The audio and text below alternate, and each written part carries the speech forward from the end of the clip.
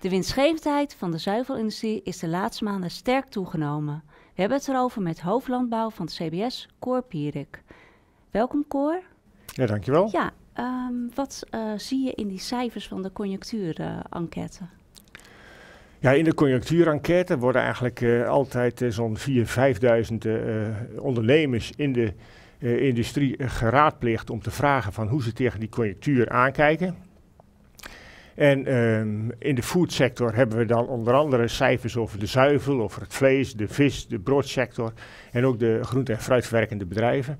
En als we uh, ja, die cijfers bekijken, dan zien we toch uh, ja, de laatste uh, zes maanden wel hele spectaculaire ontwikkelingen in die zuivelsector. Ja, en die zuivelindustrie, waar hebben we het dan over? Welke bedrijven vallen daar binnen?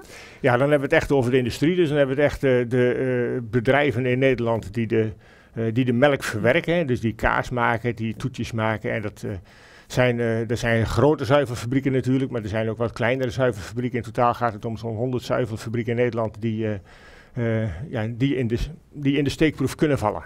Ja, en vorig jaar liepen de melkprijzen behoorlijk op. Uh, aan boeren werd bijvoorbeeld meer dan 64 euro betaald, uh, bij sommigen. Ja. Uh, en kan je dat ook terugzien in de omzetcijfers?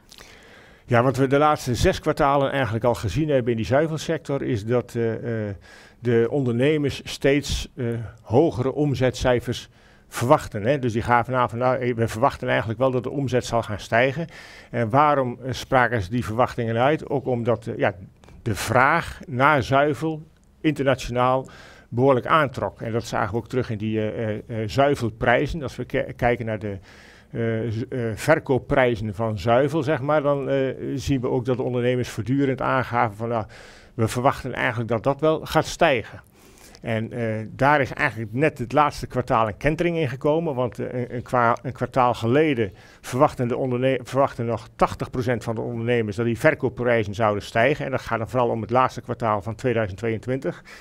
En uh, in het eerste kwartaal van 2023 geeft nog maar 12% van de ondernemers aan dat ze verwachten dat die verkoopprijzen stijgen. Mm -hmm. Dus dat is eigenlijk wel een, een, een grote omslag in uh, ja, de conjuncturele belevingen van de ondernemers in de zuivelindustrie.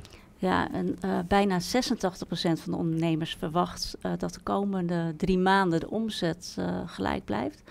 Maar zijn ze dan niet een beetje te optimistisch? Nou, we zien uh, in die verwachtingen wel vaker dat ondernemers uh, gewoon heel voorzichtig zijn om zich te radicaal uit te spreken, zeg maar. Dus er wordt vaak wel een beetje de veilige kant gekozen van nou eigenlijk, nou ja, uh, gelijk blijven. dat kan ook in dit geval betekenen van ja, we weten het eigenlijk nog niet zo goed.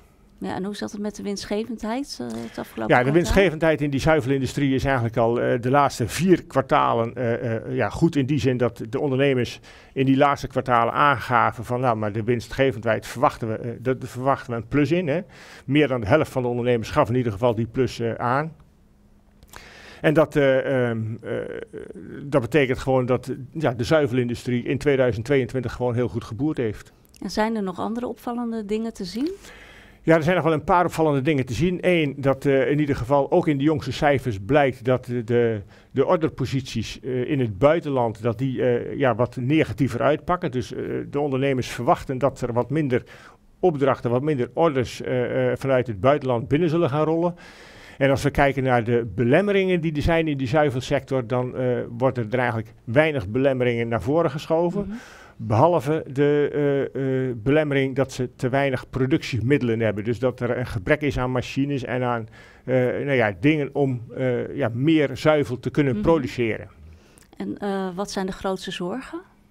Ja, die zorgen die zitten dus toch vooral in de internationale markt. Hè, mm -hmm. van, ja, kunnen we die prijzen vasthouden? Nou, het lijkt erop van niet. En, en, en ja, kunnen we voldoende opdrachten, orders binnenhalen mm -hmm. vanuit het buitenland? Oké, okay. dankjewel.